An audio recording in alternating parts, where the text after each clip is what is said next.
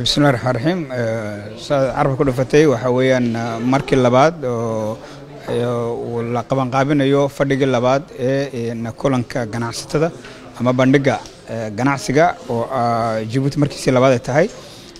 Waxaa ku kulmay ganacsatada degmada iyo ta caalamka oo si aad arkayseen ay ka socdeen indonesia iyo ganacsatada ka socotay.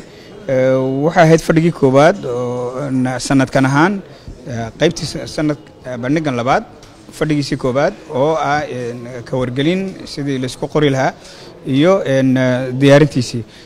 Annagu haddaan nahay ganacsatadii degmada ama waddanka oo aan matalayno baanankii east africa bank aan matalayo waxa weeye waxaan nooga uga soo qayb gallay sidii aan uga ogaano sanadkan iyo isdiyaarinteeda iyo wixii loo baahan yahay kadib annaguna si aan qaybteeda aan uga qaadano. Sidaan kuu sheegay maadaama sannadkii hore markii ugu horreysay ahayd waxay ahayd mid kolley sidii la fulayey aan ka duwan oo ah markii u horreysay maadaama ay tahay in ay dhacdadu aad u koobnaan doonto laakiin waxay noqotay mid ay ka soo qayb galaan ganacsato aad u badan.